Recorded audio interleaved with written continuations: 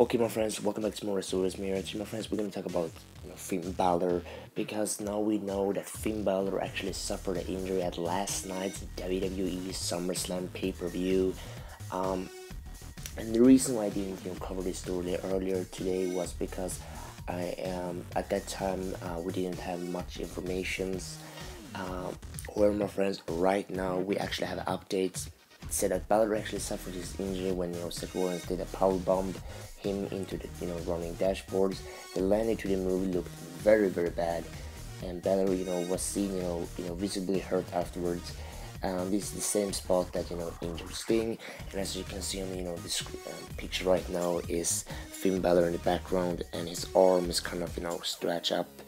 Uh, so um, yeah, guys, now we know that uh, Finn Balor actually got injured, and this is bad, guys. This is really bad um, because WWE cannot afford more people getting injured, especially not you know the new WWE Uni Universal Champion and also you know uh, the face of Monday Night Raw because basically Finn Balor was the face of Monday Night Raw right now. Um, and we don't know how long he will be out of this injury.